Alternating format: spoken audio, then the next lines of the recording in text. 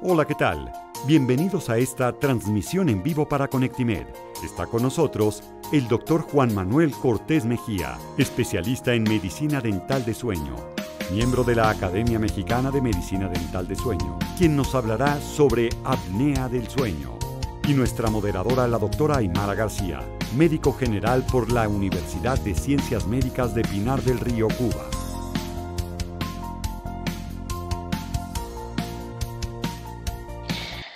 Hola, ¿qué tal? Muy buenas tardes, doctor Juan Manuel. Gracias por acompañarnos hoy a nuestra sección de video en vivo de Conectimed. Hola, doctora Aymara, muchas gracias por la invitación. Gracias a todo el equipo de Conectimed por esta oportunidad.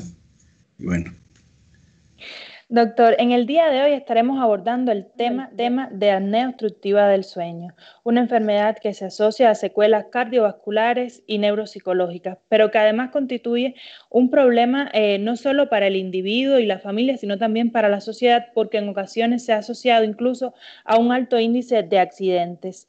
Entonces, un poco para abordar, antes de abordar este tema, quisiera que nos explicara en qué consiste la medicina del sueño.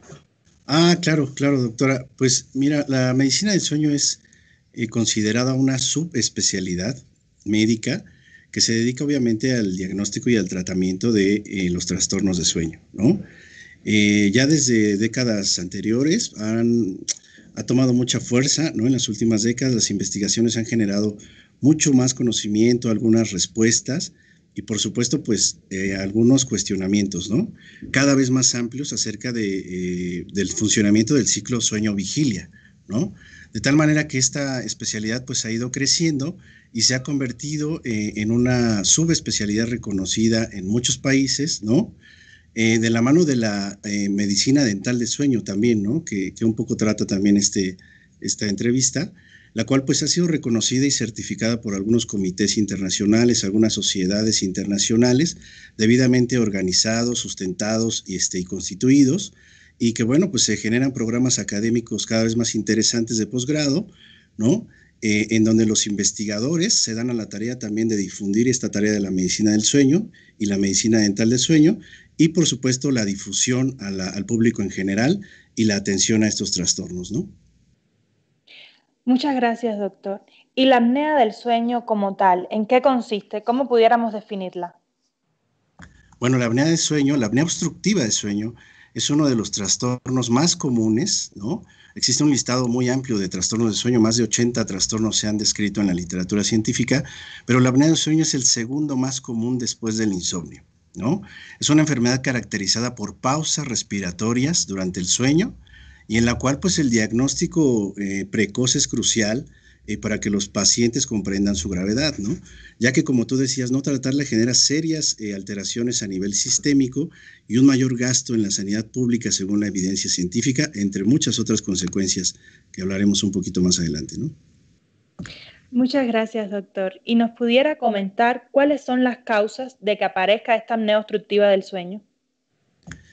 Ok, pues mira, eh, básicamente los componentes anatómicos de la vía aérea superior, ¿no? que nosotros vamos a, como odontólogos o médicos generales, tenemos muy, eh, eh, muy fácil acceso a esta, esta vía aérea superior. ¿no? Conocemos las estructuras anatómicas básicas, como es la base de la lengua, como son las amígdalas, como es el paladar blando, y la pérdida de tono muscular durante el sueño, pues serán los responsables de la presencia del ronquido que ojo, ¿no? esto es importante mencionarlo, eh, es la antesala de la apnea obstructiva del sueño al ronquido, ¿no? Todos sabemos que es un molesto ruido que surge a consecuencia de, la vibración de estos tejidos que estamos platicando, ¿no? Los tejidos blandos de la orofaringe, eh, y que está asociado al paso de aire por una vía aérea superior estenosada o estrecha, ¿no? Si a esto le sumamos la presión intratorácica negativa, que está asociada a los eventos apneicos, pues bueno, esto va a generar un círculo que muy seguramente terminará en eventos que fragmentarán el sueño, que vamos a conocer como microdespertares, ¿no? O arousals, en, el término médico arousal. Eh, además existen algunos factores de riesgo como la edad, como el sexo, la circunferencia del cuello, las amígdalas hipertróficas, eh, algunas características clínicas también como la retrognatia mandibular o la micrognatia, y que los odontólogos, como te decía, tenemos eh, oportunidad de verificar en una consulta de rutina, ¿no? Entonces, de tal manera que el paciente roncador, pues va a ser sospechoso a, eh, tener este padecimiento tan interesante y, este, y tan complicado, ¿no? Claro, muchas gracias, doctor. Y usted, como, como experto ya en este tema que se ha dedicado a la medicina del sueño, ¿qué nos pudiera decir de la incidencia y la prevalencia de esta enfermedad acá en México y en el mundo de modo general? Claro, mira, los trabajos epidemiológicos eh, en estudio platino que se han realizado en México estiman la prevalencia entre un 5 y hasta un 10% de la población adulta en general, ¿no? Eh, asignan un 4, entre un 4 y 6% al género masculino y de un 2 al 4% al género femenino. Sin embargo, la última encuesta nacional de salud realizada aquí en, México, Salud y Nutrición, publicada en 2016, nos habla que hay hasta un 80% de subdiagnóstico de la enfermedad, ¿no? Estos datos estadísticos a nivel global son prácticamente los mismos, es decir, se habla de un subdiagnóstico muy importante. ¿Qué está pasando? Que ni los médicos estamos encauzando a los pacientes a tratarla, ni los pacientes tienen la información suficiente para buscar esta atención ¿no? a, estos, a estos trastornos. Muchas gracias, doctor. Eh, un poco para entender por qué es importante detectar esta enfermedad tan solo, eh, o sea, con el apoyo de tanto odontólogos como de médicos generales, que muchas veces podemos pasar por alto a este paciente roncador o a este paciente que en ocasiones mantiene la boca abierta para poder respirar y no detectamos a tiempo esta enfermedad. ¿Cuáles son las consecuencias de no diagnosticarla a tiempo y de no tratar? Claro. Eh, mira, una de las consecuencias y, el síntoma principal de la enfermedad, o uno de los síntomas principales, es la somnolencia excesiva diurna, Eh, un sueño no reparador, la cual está, eh, la somnolencia es la segunda causa de accidentes vehiculares en México después del el alcohol. Entonces, pues bueno, puede provocar además consecuencias graves, como bajo rendimiento laboral, sistémico, este, problemas cardiovasculares y cognitivas principalmente. Eh, además, también puede haber un bajo rendimiento físico, sexual, académico, y en los niños incluso se habla de que se puede confundir con este síndrome de eh, déficit de atención e hiperactividad, ¿no? Porque es una de las eh, consecuencias y de, la sintomatología y de los signos que tienen los niños, ¿no? Este, por supuesto, es importante lo que decías, este, buscar esta multidisciplina, ¿no? Con los otorrinolaringólogos, en el caso de los niños particularmente, o de los neumólogos, y eh, pues tratar justamente de fomentar esta multidisciplina con, estas, con estos especialistas, ¿no? Especialistas, ¿no? Muchísimas gracias, doctor. Claro que sí. ¿Y cuáles son los síntomas de los que más eh, debemos estar atentos ante un paciente que sospechamos tenga una apnea obstructiva del sueño? ¿Cuáles son los síntomas que con más frecuencia presentan estos pacientes? Pues mira, yo siempre me gusta hablar de una triada de la apnea obstructiva del sueño, ¿no? Eh, va a estar dirigida a, identificar, por ejemplo, la somnolencia excesiva diurna de la que ya hablamos, la presencia de ronquido, y la sensación de asfixia, que es la característica principal de las, de las apneas, ¿no? de la presencia de apneas. Ahora, si no hubiera esta sensación de asfixia durante, durante el sueño, también puede ser que eh, haya apneas presenciadas, ¿no? El compañero de cama es el que, o algún familiar es el que nos refiere en una consulta de rutina que, bueno, pues que el esposo, que la esposa está teniendo estas pausas respiratorias. Y esa es la triada eh, que nosotros buscamos en algunos cuestionarios, ¿no? Que, que ahorita hablaremos de ellos si quieres. Eh, y luego hay un amplio listado de, sintomatologías diurnos y nocturnos en los cuales podemos destacar, por ejemplo, la nicturia, ¿no? esta necesidad de, levantarse varias veces al, baño a orinar este, durante, durante la noche, el bajo rendimiento laboral, físico, ya hablamos de eso, puede haber dolor de cabeza matutino, eh, irritabilidad, puede también estar relacionado con depresión, con reflujo gastroesofágico. Hay muchos este, papers muy, muy recientes que hablan de esta relación de la apnea y el ronquido y el reflujo gastroesofágico. Y por supuesto tiene un, este, un antecedente eh, fisiológico, ¿no? Y creo que estos son los, los síntomas los más graves y los más comunes, ¿no? Sí, doctor. Bueno, acá usted nos mencionaba los, eh, los cuestionarios que se pueden realizar. ¿Estos cuestionarios eh, son en particulares? ¿Nos pudiera mencionar alguno? Sí, claro que sí. Pues tenemos, mira, hay un cuestionario validado internacionalmente. Ah, bueno, hay por lo menos tres cuestionarios validados internacionalmente. El que más se utiliza y que es de, autollenado muy sencillo, es el cuestionario de la escala de Epworth. Este, este cuestionario nos da eh, una escala de, somnolencia diurna, justamente, y entonces a través de un puntaje vemos si el paciente es este, un posible, eh, un posible este, paciente con apnea obstructiva del sueño. ¿no? Muchísimas gracias, gracias, doctor. Ahora, un poco más. A la hora de realizar el examen físico, ¿cuáles son los signos que nos orientan a que el paciente tenga esta patología? Eh, ¿Cuáles son los signos? Bueno, eh, tenemos que buscar esto, esta, esta relación con los síntomas que ya mencionamos, ¿no? Y algunos eh, factores de riesgo también, como la circunferencia de cuello, que ya, ya hablamos un poco. Existe también una escala de eh, obstrucción, de grado de obstrucción de la vía aérea superior, que conoceremos como Malampati, ¿no? y, nos da también eh, pues datos de, la estructura anatómica de esa vía aérea superior. hay que evaluar, por supuesto, la, la, micrognatia o la retrognatia mandibular en el caso de los odontólogos y los profesionales en medicina del sueño. Y bueno, no está por demás también hacer un examen dental por algún posible bruxismo. Te platicaba que hay una concomitancia importante ya descrita de bruxismo, apnea de sueño y ronquido, ¿no? Este, y también, bueno, a mí me gusta hacer un énfasis también en una, em, en una, auscultar la articulación temporomandibular, que también nos puede dar datos de un posible bruxismo y esta concomitancia de la que hablamos, ¿no? Muchas gracias, doctor. ¿Tenemos algún método de diagnóstico para confirmar eh, esta enfermedad o para ver cuán grave es? Sí, sí, doctora.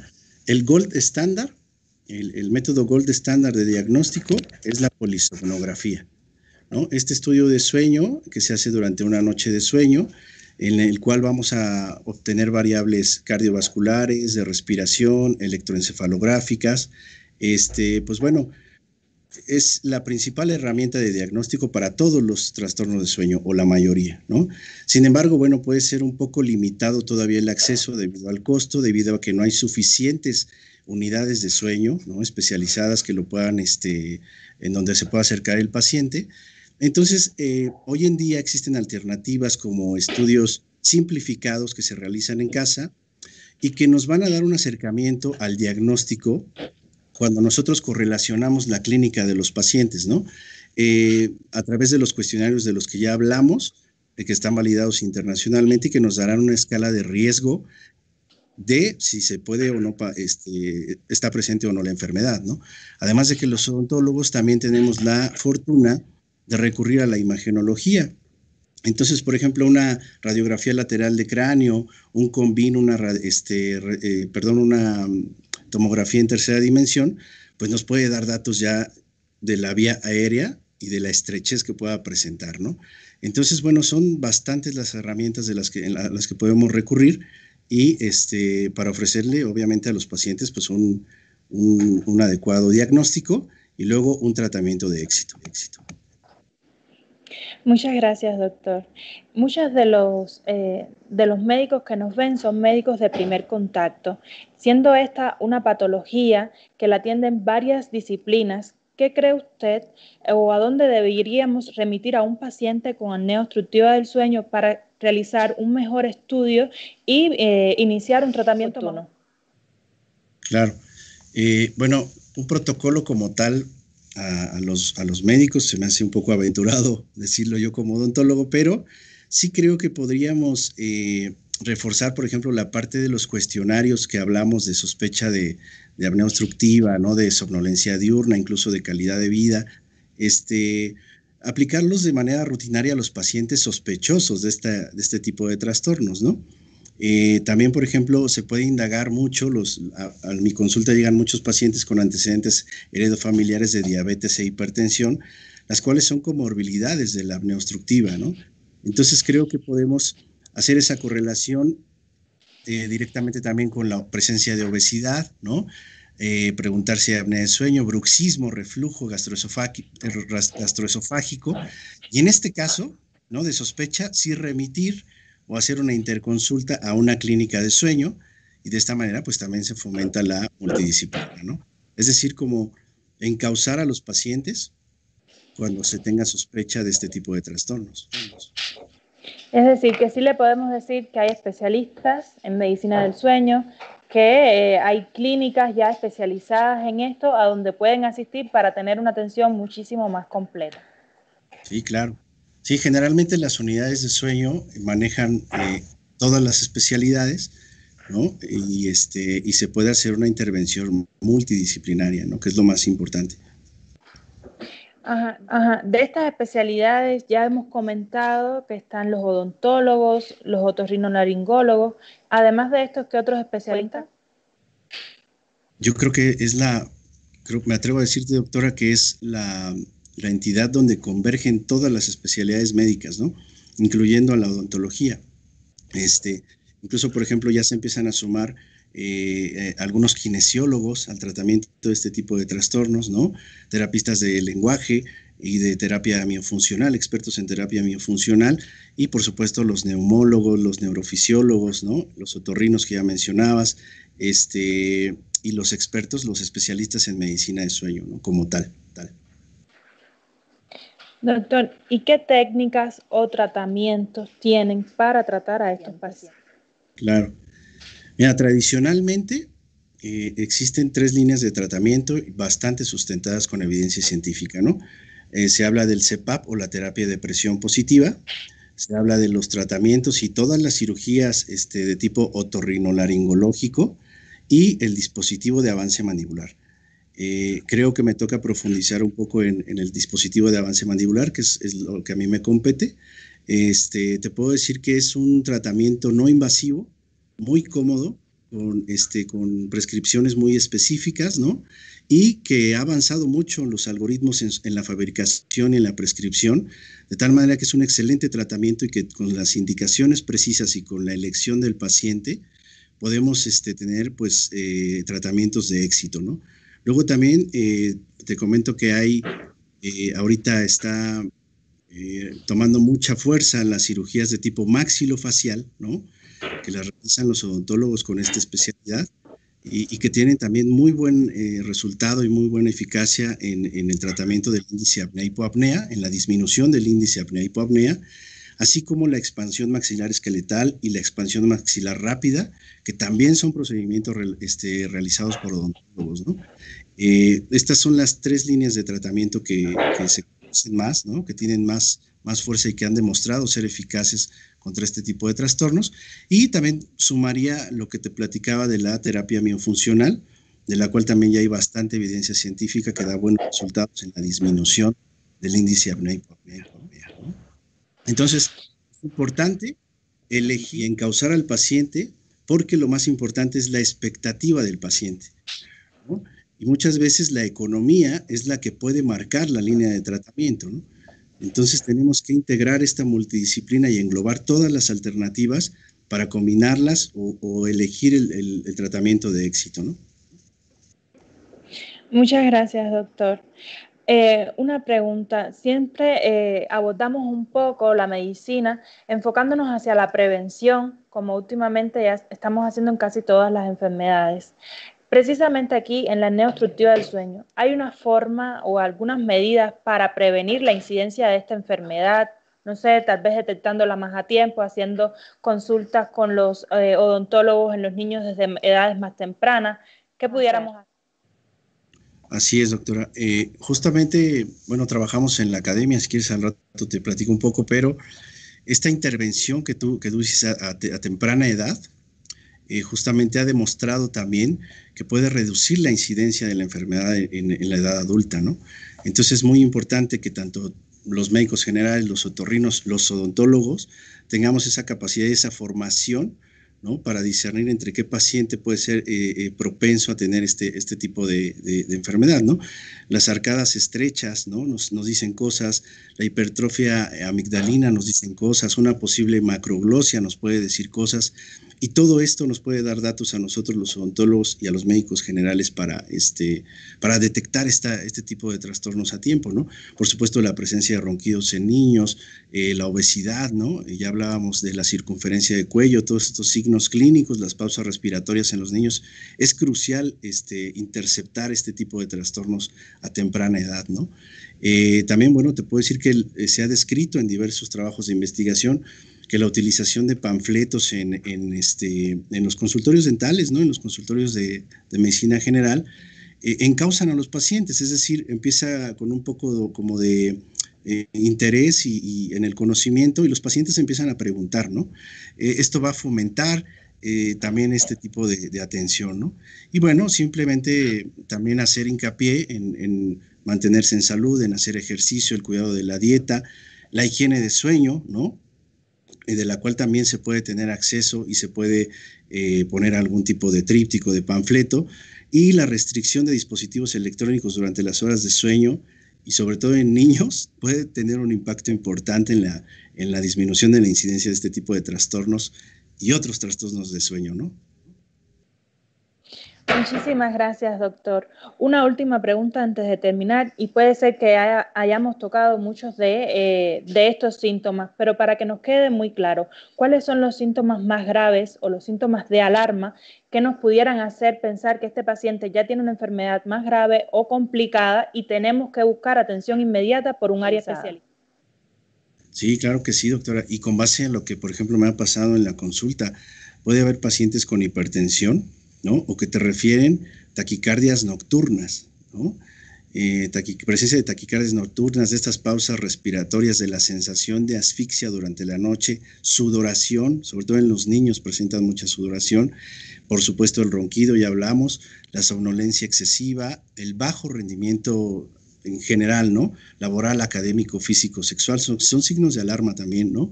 Este, la presencia de reflujo, dolor de cabeza matutino, un sueño no reparador, ya nos está dando un dato importante, ¿no?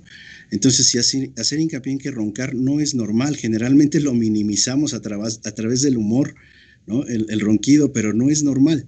Este, la, un sueño no reparador no es normal y tiene, puede tener una repercusión a través del tiempo. Esto es progresivo, ¿no? También te puedo decir, eh, pacientes que tienen eh, incidencia en romper prótesis eh, dentales, me refiero, en romper este, implantes, en tener problemas con implantes dentales, ¿no? Eh, nos dice algo, esta concomitancia que hay con el bruxismo, este apretamiento dental durante la noche y la apnea de sueño, se ha descrito también que al disminuir el índice apnea-hipoapnea, también disminuyen las ráfagas de este trastorno del sueño, ¿no? del, bruxismo. Entonces hay que tener un poquito ahí de, de, de atención con estos síntomas y encauzar a los pacientes. Muchísimas gracias, doctor, por habernos acompañado y por haber brindado sus conocimientos de una forma tan amable en un tema que me parece muy interesante y que todos concienticemos acerca de la importancia que tiene y que se la demos a entender a nuestros pacientes para que reciban una atención oportuna. Así es, doctora. No, pues al contrario, les agradezco el espacio. Muchas gracias a todo el equipo de Connectimed y pues sí, eh, si me permiten mencionar, justamente tenemos algunos webinars que presentamos con, este equipo eh, de, de, Connectimed y también tenemos un encuentro multidisciplinario, el primer encuentro multidisciplinario internacional que llamamos Odontología en Medicina de Sueño eh, y que está organizado a través de la Academia Mexicana de Medicina Dental de Sueño, ¿no? Eh, dicha academia pues se está dedicando de manera formal, ¿no? es una sociedad constituida sin fines de lucro y que se dedica a formar odontólogos para este tipo de atención a este tipo de pacientes y también bueno de la divulgación científica en general. ¿no? Entonces el evento se realiza este próximo 30 y 31 de octubre a través de nuestras plataformas y a través de Connectimed y pues quedan todos los médicos generales, todos los este, neumólogos, todos los especialistas, por supuesto los odontólogos, invitados a este, a este eh, evento sin precedentes hasta donde yo tengo conocimiento en México. Eh, se sumaron muchos ponentes internacionales, ¿no? Que son expertos en el tema, que llevan muchos años haciendo investigación. Y bueno, pues ahora la intención es traer, eh, intentar reforzar todo esto que estamos haciendo los odontólogos con todo el equipo multidisciplinario del que ya hablamos, ¿no?